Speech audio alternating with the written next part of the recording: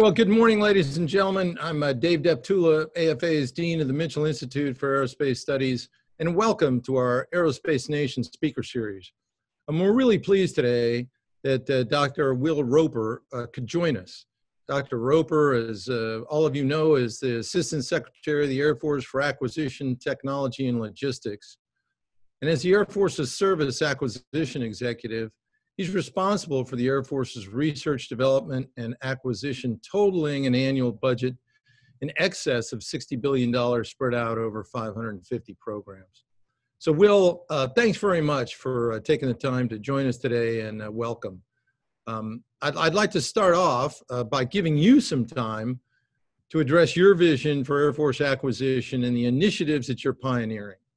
Uh, coming from the Strategic Capabilities Office, I know that probably seems like a long, long time ago. Um, you've introduced a number of innovative approaches to the acquisition community, and you're still pushing forward with new ideas. Um, I know our audience is eager to hear the latest, so let me turn this over to you. Thanks, Dave. I really appreciate uh, you joining me today for hosting this event and for continuing the great work of the Mitchell Institute, uh, even as we're socially distanced. Uh, think we've all learned that there's quite a bit that we can do using modern IT uh, to help us connect even when we can't be physically located. So uh, thank you and thanks everyone for joining today. I'll be very brief with and the Q&A with the audience is much more important than opening remark, Dave. I I have come into this job really dovetailing with the last one I was in, and that is thinking about long term strategic competition and the role that the Air and the Space Force need to play in it. And as two services that are inspired and generated by new technology, there's so much that we have to fundamentally change about the way we take new ideas, build them, and get them into the hands of operators in this century that will look fundamentally uh, diametrically different than the way we did it in the last century in the Cold War. Uh, because in that last epic, technology was slow, it was expensive, we were exceptionally good at it, we still are. And when we had a technology breakthrough, things like stealth and computerization and satellites, uh, we needed to proliferate them because that advantage was one that gave us the edge on the battlefield. And those technology gains were hard fought. So you could rest on them longer than you can today where technology is cheap, ubiquitous, fast, happening all the time, happening uh, 80% outside of the government, though we're still a major player and do a great job. So the model has to change because technology is everywhere. And we don't know which technology is going to be the next big mover and shaker on the battlefield. There may be multiple ones.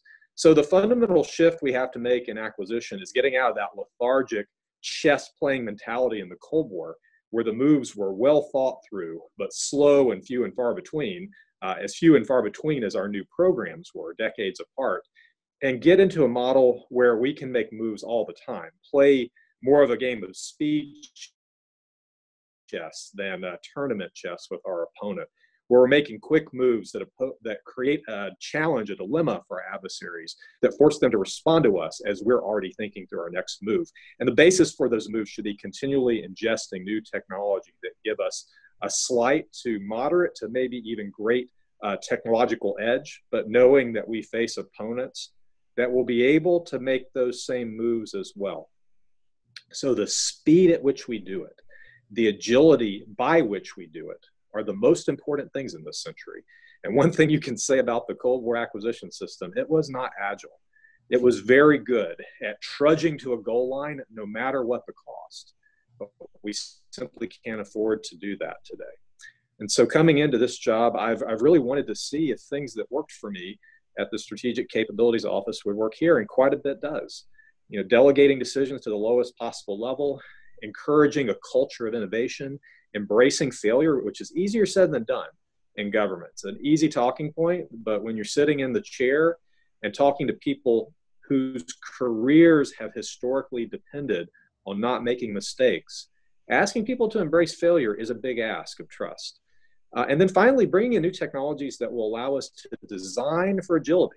You, you've heard many times, Dave, in the Pentagon, cost schedule performance. Even if you're not an acquisition professional, you've heard those, those triumvirate terms that are the building blocks of new programs. Well, cost and schedule will always be important, and schedule uh, exceptionally so. If you're competing against a peer, you've got to win the race to market with your new tech. But performance is going to be uh, extinct in this new model because performance uh, it connotes a goal line that you cross, and when you cross it, you have the advantage and you win. And so, what I'm hoping to do is bring in technologies like digital engineering, DevSecOps, and software containerization, Kubernetes, open systems architecture that would allow us to exchange steady state performance with continually adapting agility. I want cost, schedule, and agility or adaptability to be how we measure programs in this century. And so I know we'll talk about a lot of initiatives today the Digital Century series, the myriad software factories that we have across the Air and Space Force, Kessel Run, Kobayashi Maru, the enterprise wide cloud, Cloud One, and Platform One, which is our fully container native development environment that programs like uh, Ground Based Strategic Deterrent and B 21 are moving to with great effect. And the Digital Century series, which is uh, a huge passion of mine. I know it's a topic you've had interest in. But these are things that are meant to not just speed up the process, though they will, and hopefully confound our adversaries and how quickly we move. But I hope it confounds them in terms of the agility we achieve. And I'll know we're getting it right when our operators are not waiting on technology. If it's available now, we ought to be able to seamlessly put it inside of our platforms, large and small. So I hope we'll get there, but it, it begins by getting a few programs right over the goal line. So I'm excited about the Pathfinders, about next generation air dominance, about Skyborg, about T7, ground based strategic deterrence that are really blazing the trail. But I'm bringing our satellite programs along as well and a couple of uh, candidates for weapon systems too. I think you can build anything in the Air and Space Force this way. We need to get after it. And then finally, you know my passion for growing the industrial base. So our defense primes are going to continue to be heavy movers and shakers for us, but uh, we're not going to win against China long term if they've got a nationalized industrial base. They have access to their entire talent pool. They have access to every co- company that's within their border. And we are only working with a small subset. And that subset continues to collapse every year under the pressure of programs that are too few and far between to sustain diversity and continual competition. So we have to have a new model that encourages companies to come in and work with the military, but not necessarily put them on a path to become a defense prime. We're not going to get another defense prime in this century. So we need a new model, a new industrial based model that's not a defense industrial based model. It's an industrial based model where companies can work in defense because they're technology companies, and technology is what enables cutting edge defense. But that company can still work on the commercial sector as well. And I think we've had great progress in our AF Ventures, Air Force Ventures process and team that we're taking uh, to a next level. It's been experimental up till now, but this is the year that we have to make it codified, uh, steady state across the Air and Space Force because we can't make it innovation. We can't make bringing in new companies and working with commercial startups and scale ups. We can't make that innovation and feel it's a nice to do on the side. It's imperative. It's the bread and butter of winning the competition long term. So the word, Dave, is competition. That's why I'm here. And there are myriad things we have to do to get it right. Well, Will, thanks very much for that uh, context and uh, insight. Um, and thanks for all that you and your team are doing to build the world's uh, greatest aerospace forces. I've got to compliment you uh, on your passion too, because that makes an extraordinary uh, difference. Now, 2020 appears to be a pivotal year, uh, and not just because of global and national events. Uh, the Air Force is smaller and older than it's ever been, and it needs to step boldly into the future uh, with technologies uh, while simultaneously preserving capacity and sustaining its high ops tempo. Uh, you mentioned a lot of that. Um, I'd like to take our conversation uh, further and focus on your vision for the future uh, beginning with your efforts to incorporate leading edge technologies enabled by quantum physics into Air Force capability. So you're getting ready to hold the Quantum Collider event next week. Uh, and although it'll be virtual due to COVID, is designed to bring government, industry, academia, and small businesses together to explore pioneering quantum technologies and applications.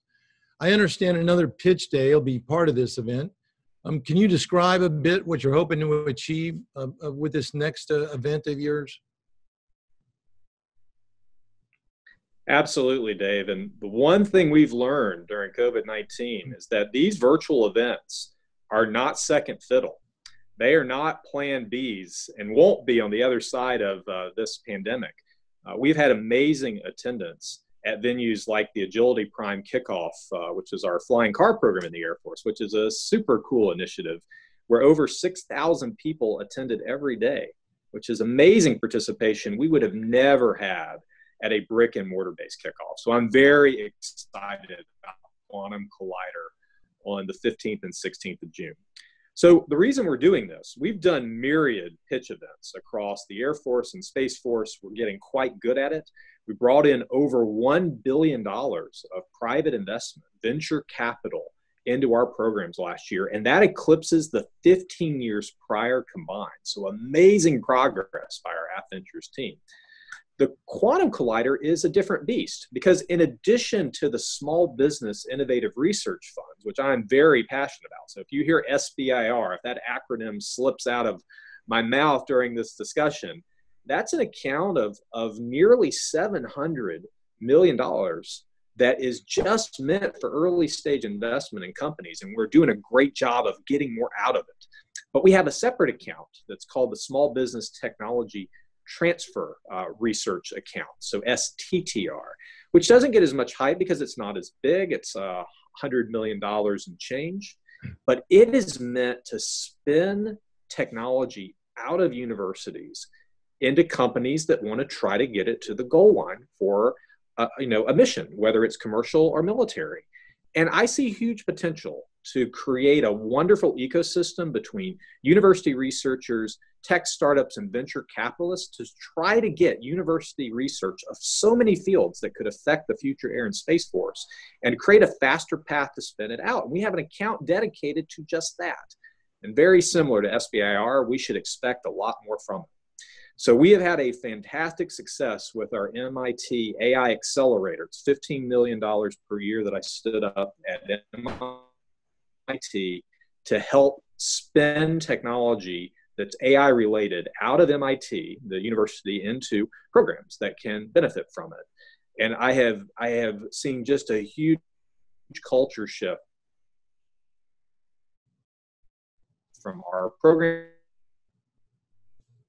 teams, um, understanding the core principles of AI through browsing. So a big shout out to the tremendous help that they've been. The idea that the collect that step into the world of quantum physics. So we hear that in the news frequently. Um, it's going to eventually make an impact. We don't know when. It's difficult technology to mature. And so the idea is to create a steady demand signal from the Air and Space Force that we have over $100 million per year to help university researchers and companies get technology out of the lab and into uh, businesses that might be able to get it to the military goal line. And I, this is going to be, um, you know, high stakes, big risk, big reward. But if we don't start doing this year after year, uh, then another country, another military might get to the quantum goal line first. Uh, at, at, some probability, I guess you should say, in the realm of quantum physics. Um, so we don't want that to happen. We want to win the race uh, to that goal line, and and this is going to be our first event to show a steady cadence, a steady demand of not just doing research, though we love research in the Air and Space Force, of having a conduit from research into business. And whether it ends up being quantum communication or quantum sensing or quantum computing, or hopefully a combination of all three that make it to the goal line first, this is about creating an accelerant so that our military gets that advantage. And this won't be the last uh, collider event that we do in the realm of accelerating research, there are so many other areas we need to be exploring from uh, synthetic biology to new materials, all of which can have a huge impact. So we're doing this tech field by tech field, and I'm excited to participate uh, from the comfort of my of my home or my office. And I hope that a lot of people watching, uh, if you're interested in quantum physics, knowing what universities are working on, what businesses are thinking, this is a great opportunity to get up to speed. So please join us. Very good. We uh, look forward to the hot wash on uh, Quantum uh, Collider. Um, there should be some interesting insights on the impact of uh, COVID on uh, small tech businesses from that venue as well. You mentioned some of those. I think you're spot on. I think a lot of us find ourselves actually working more and doing more um, by not taking that uh, taking up those uh, hours traveling back and forth and uh, also being able to collaborate in a, a much more broad fashion. Um, speaking of small businesses, developing alternate timing, sensing, and communications could be a game changer. Uh, and reaching out to small business could bring new and innovative ideas to the forefront. Um, but doing business with the government is not easy, no matter how good the idea. Um, you, you recognize this explicitly, and, and that's the impetus behind your pitch days. Um, can you tell us a little bit about what the success rate has been for these small companies to actually field their products um, and what can be done to help them become even more successful? No, it's the results have been have been off the charts, Dave. We've in the last 18 months, we've brought over a thousand new companies into the Air and Space Force industrial base. Now they're at the beginning stage. They're exploring their ideas, they're doing research and prototyping, but it begins with getting companies through that front door so that they can move on to steady state contracts and programs of record supporting the warfighters. Before we started the AFVentures process, the average time from getting the first uh, non SBIR dollar after the, that initial investment, when you get the first program dollar, has been over six years. So, quite a long time. And in the AFVentures process, we have shortened that down to as short as months for software companies and AI companies that can transition immediately to the warfighter. And so our process is very simple, Dave, and this is the year we'll be codifying it. I'm excited because uh, I've elevated AFWERX. It's now a direct report to me, and I just announced uh, Colonel Nathan Diller, who is the lead of Agility Prime, our flying car program, is going to be the director and AFWERX 2.0. And their job is to really get this AFVentures process codified as one of their main level of efforts for me. We've got to get this right and keep bringing new industry blood in, new ideas in, so that we never become complacent or stagnant. We're always a moving target for as simple as possible for companies of all kinds. Continue making a thousand small bets every year. So um, about 50K in size, help a company that may not understand the Air and Space Force. And even if you did, we're changing. So if you knew us 10 years ago, I, I hope that there's some learning to be done. So we don't want that learning to be part of how you get an idea to us. So we we had this open door, this this small bet to start the relationship, get that idea connected to a potential mission. Then we move to the medium bets. These can go up to as high as 1.5 million. We hope to do around 300 of these per year. These are at the pitch events that you've heard so much about, live Shark Tank type events where we've got a war fighter, an acquirer, and a technologist. They're the source selection team, and they're making a decision with that industry pitching their idea live where you can ask questions and not just understand the technology, uh, because that's what you get through a normal solicitation we need to understand the team. We need to understand the drive the passion the vision. Because for early stage r&d you're buying the team as much as you are their idea and we have to believe in them. And the cool thing about that medium bet step is that the program offices have to bring their own funding to the table. So we match it with our investment account the matching is the inducement and often, when we do matching funds uh, in the Air Force, we see private matching as well. And so you have a chance if you play in this AFVentures process as a program office or a MAJCOM, that you will triple, quadruple, even even a quintuple your money if you play. And so last year alone, we saw over $240 million of program office funds be put on the table to help match this investment account, which is fantastic. It's more than I can trace in, in any previous year and many year many years combined. That is what makes our process different, Dave. It's what makes private investors want to co invest with us. Last year, over $3 matched to every Air Force dollar we spent in our AF Ventures investment process. So, three times our money coming in from private investors. And the reason why is not our R&D money, though it helps. It's the fact that our process requires matching funds from the customer.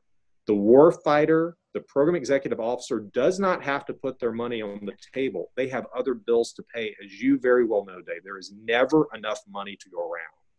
But the fact that they do, that they see something in a company and they want to take that next step, is such a valuable product market fit. It's a delineator in the tech startup world that it is uh, with great result, inducing venture capitalists and private investors to match and to match multiple times over. And that's what leads into our big bets. Uh, we just announced those right before COVID 19 hit, about maybe 20 of those per year, where we really give companies with a great idea a chance to fully productize, produce, and have that game changing uh, effect that we see in their idea. I'm sure it's not perfect, but if we continue to refine this and make it easy, you don't have to give up equity to go through the AF Ventures process. And private investors love the fact that we're coming into the ecosystem because we're de risking their investments. So we have a chance to play a wonderful partnership role. Uh, go after riskier things than private investors can go after and, and play a you know a role in this ecosystem that might level the playing field against the advantage that China has in a nationalized industrial base. I don't I don't believe in their system. I don't believe long term that picking winners and losers is going to create more constant and routine innovation than market dynamics will. I believe in markets, but we would be unwise to underestimate the near term advantage that their companies get getting access to capital very early on and not having to be on the pitch circuit like so many of our companies are. So, what we're looking to do is find a way to bring the military market to, to bear in a way that's synergistic, symbiotic with the commercial market. So, we're still getting market dynamics, but we're bringing the whole of what our nation has to offer, including partnership with the military, as one of our value propositions. Well, congratulations on your success, and, and once again for uh, instituting these kinds of uh, innovative uh, uh operations and perspectives and approaches uh, that uh, sound like um, are really accelerating. Um, last week, I had a conversation with Lieutenant General Jack Shanahan, head of the Pentagon's Joint Artificial Intelligence Center um, where he told me that the Air Force is designing an autonomous aircraft uh, to attempt to best a manned fighter in air to air combat. Uh, can you give us a little more insight into this experiment? And what's the selection process for the fighter pilot? Will you consider retirees? well, I you know ever ever since Star Wars first uh, debuted, this idea of being able to fly with autonomy to support you and and cute little beeps and squeaks, right, has just really caught the imagination, and it's time to make that real. And so I am excited about our R2D2 program, which that's not what we call it, but that's the what I refer to it, which which isn't just trying to create an autonomous pilot that can replace the people that we have today. One thing that you learn when you go up and talk with the world renowned AI experts at MIT at their CSAIL Institute is that AI in its current form is fragile. And so it's fine if it's mainly helping you with entertainment related functions. If your app crashes or it gives you a wrong choice about which movie or song you should listen to next, well, no big deal, right? But on the battlefield, an adversary will be there trying to thwart and confound that AI. And it's very easy to do. So, those researchers at MIT, in a very cute example, showed me how today's greatest computer vision algorithms, these deep convolutional neural nets that for Google and other companies are able to churn through all the stuff that we're posting on uh, Instagram and Twitter and all the other social media feeds that are able to extract features from those images and, and tell us what they are with no people in the loop. That the second you introduce an adversary, you can have the world's best algorithms pick an image that you and I would look at and be able to identify immediately and fool it into thinking that it's anything. Because the way these algorithms work, the way these deep convolutional neural nets work, just is, simply different than the way the human brain works. We are so adept at, at dealing with patterns and also knowing if someone is trying to mess with us. And so we're going to need a new form of AI that is hardened against an adversary. And part of the reason that we're engaging in basic research is that this is probably not going to be profitable as soon as we like. So we can't wait for this to show up as the bread and butter of the internet. We need to accelerate this. And if we do it in a way that's smart, we won't just be accelerating it to help the military, though I certainly intend to do that. That is the job I'm here to do. But that kind of hardened AI is what we ought to have in drones that are delivering packages or self-driving vehicles. And so that is that is part and parcel of what we're trying to do with our R2D2 program is not just build a pilot that can fly an aircraft. That's going to be very easy to do in a benign environment. We want to design a pilot that can deal with an adversary that is intentionally trying to mess with them with the data that they're being shown, trying to thwart that convolutional neural net in a type of algorithmic warfare that has never existed but will on the future battlefield. And then we want to see where does it break and where does it not? And my expectation is this next generation of pilot is not going to be ready to hand the reins over completely to R2D2, but but neither will they be willing to go into combat without R2D2 if R2D2 is available. And I expect, just like pilots in the era of stealth had to develop an instinct for stealth, for radar cross sections, even if they didn't understand the fundamental physics, they had to get a sense for it, just as if it was inherent to their body. I expect that the next generation of pilots will have that instinct for AI. They'll know when it's going to be strong and when it's going to be weak. And I think the first thing that we'll field in programs like Skyborg, where we'll be teaming an autonomous wingman with, with a manned platform is when to when to trust the AI, what roles to put it in so it has the best chance of having a positive impact, and when the human needs to override and reset. And I expect this is going to go back and forth, just like stealth counter stealth went back and forth. Continual cat and mouse game of trying to create an advantage and then break that advantage and then fix the break and break the fix forever and ever. Amen.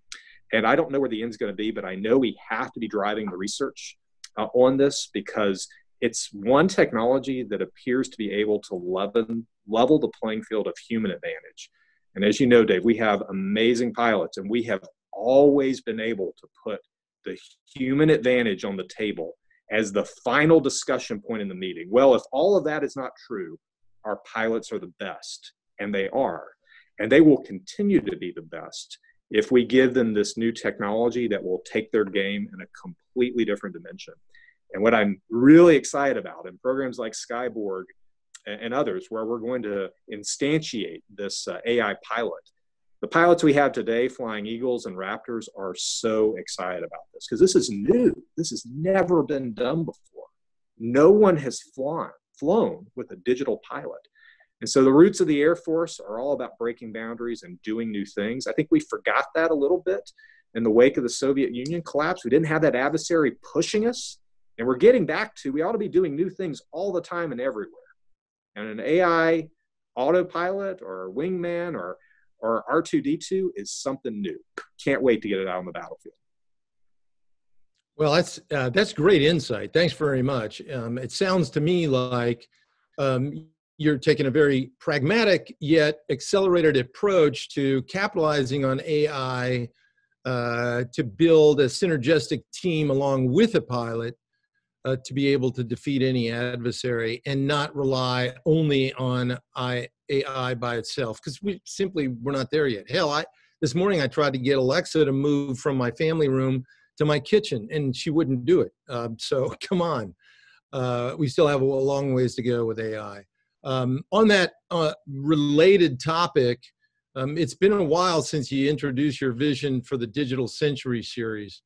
Uh, based on your pillars of the digital thread, um, agile development, and open architecture, the intention behind the digital engineering series uh, is to compress the development and acquisition OODA loop. Can you speak to how you've been implementing this uh, new force design and uh, acquisition paradigm? Absolutely, Dave. I, I truly wish I I could uh, could reveal more about the next generation air dominance program and the, the classification which which we need because we don't want to tip our hand to the adversary about what types of capability are going to enter the battlefield uh, is holding back our ability to talk more broadly about the tremendous progress we're making in harnessing uh, what I call the digital holy trinity, which is digital engineering, uh, agile software development, uh, especially containerization, and modular open system design. And although I'll go into as far as I can on NGAD in a second, but you can see what is possible in programs like T7, um, which is amazing, right? We're that program has just started, and we've got two airplanes that are out that are flying, you know, every day. I mean, when has that happened? We probably have to go back to the 70s till new airplanes from scratch designs have appeared as quickly, and it's challenging our system. We have two airplanes. They're not X planes. I hear people say that they're E planes. These are digitally engineered. They may be the only two identical airplanes that we're flying today in any of our programs. And so the fact that they've been digitally engineered and the fact that those digital models allow us to go back and revisit design if we wish, or we can take that model into assembly and we can model it and improve it without actually having to build a production line. Or we can take that model all the way over into sustainment and make sure we don't do something dumb in design that's going to jack the cost of sustaining systems. That's what the digital thread is. So if you're watching this and you've wondered, what are these terms? And I, I worry this is going to become like talking points or buzzwords in the Pentagon. The words won't mean anything. The, the digital twin is the model of the system and it'll change as we fly airplanes. So if, if you fly one airplane, you know, 10 hours and another one has flown 30 hours, their digital twins will be different as you're actually modeling the wear and tear. That's the term most people remember but it's not as powerful as the digital thread. The digital thread is what I just discussed that you can you can take these high fidelity models and you can move them from design into assembly into sustainment and then back. They're all tied together. The, the thread is not cut in any place. So you're never creating a gap or seam that's going to bite you in the future. And uh, it's amazing to see what programs like T7 are able to do. We're not we're not in full scale production. We're not sustaining the system yet, but we're doing work right now in that program we would normally not be able to do until we had the first 22 aircraft show up. And we believe the results because the models are of such high fidelity that there's no distinction between the real world and the digital world. If if Boeing came in and handed me the design for the T7 on a hard drive and said, "Here it is," I would take that just as surely as if I had been delivered the airplane. That e plane, that electronic representation of the airplane, is our future. And you can build things that aren't just airplanes that way, which is why at our last Space uh, Acquisition Council, we spent the whole time discussing nothing uh, related to space. We had all of the programs, ground based strategic deterrent, T7, and next generation air dominance come in and talk with all of our space acquisition professionals about the, the boundaries they are breaking and the new things they're learning using this digital holy trinity. And it was exciting to see that, yeah, we can build satellites this way, we can build weapons this way, and we intend to. Now, Next Generation Air Dominance is the first program that is going to try to change the model based on that digital thread. So, kind of upload in your mind, you've got this model, you can go from design into assembly into sustainment, you can work on all of them simultaneously uh, without creating a seam or gap in your system. What we hope to do, Dave, is create a model that does not require mass production for industry to recoup their upfront investments. If we have hundreds, if, if not thousand, uh, over a thousand of the same kind of aircraft, that is not fast, it's not agile enough, it's not adaptable enough to go back to the opening remarks. We have to adapt, we have to continue to change and force our adversary to respond to us. Uh, that model from the Cold War of mass production doesn't work anymore.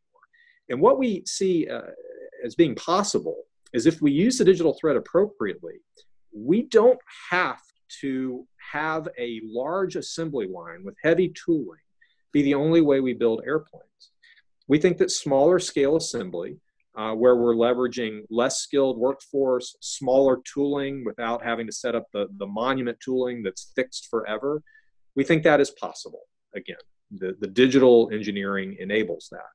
And what we hope to do is create a way to work with us that's between X planes and, and mass production, full scale production, where we're building things in smaller quantity. And T7 shows me that that's doable because two airplanes are flying right now. We are learning from them right now um, that are as identical as anything in our inventory.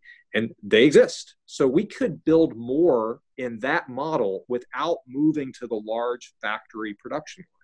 And although in, in T7, we are going to go to full scale production because we need to replace our trainers and make sure the next generation of pilots is ready.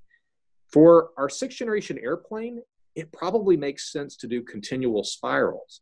So, cool things we're thinking about are ways that we can slowly change the airplane year by year. We're not talking about radical changes, as some people hypothesize. We're thinking like the automotive industry that's already gone all in on digital engineering, that's able to change uh, their cars slightly year to year, but that doesn't change how you drive them, nor how garages repair them. It does not jack the sustainment cost of something that is not that is not affordable. As long as the designers are aware and design within uh, sustainability constraints well how do you do that? You've got the digital thread that traces all the way to sustainment. If a designer proposes an upgrade to an airplane and it makes sustaining it fundamentally different in cost then the sustainment engineers can raise their hand and say that's a bad idea and here's why. If it makes a change that is going to raise their hand and say that's a bad idea and here's why. This technology, if we get it right, there's there there are a ton of things we could get wrong. We are the government after all.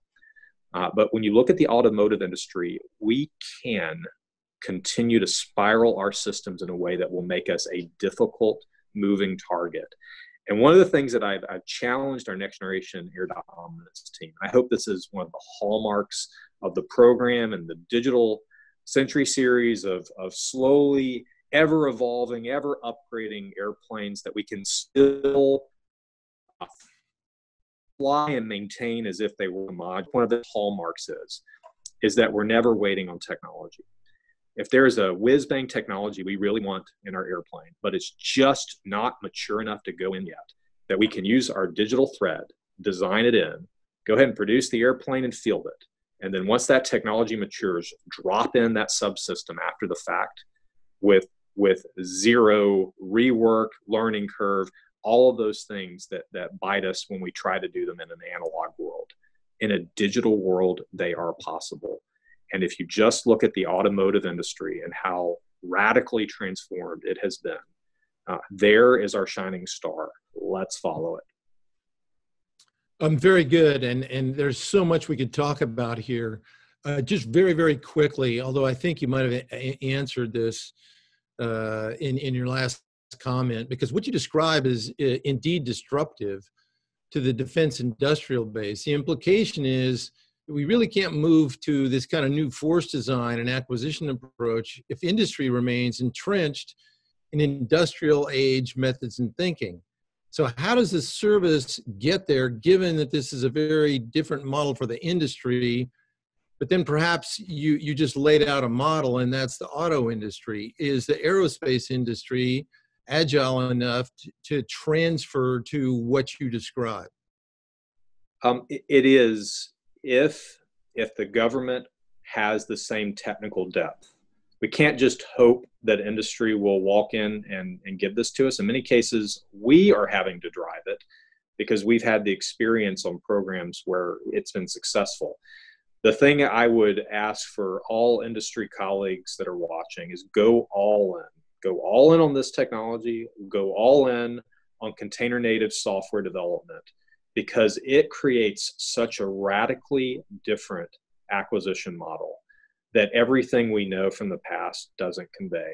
But you have to invest up front. You need these digital tools.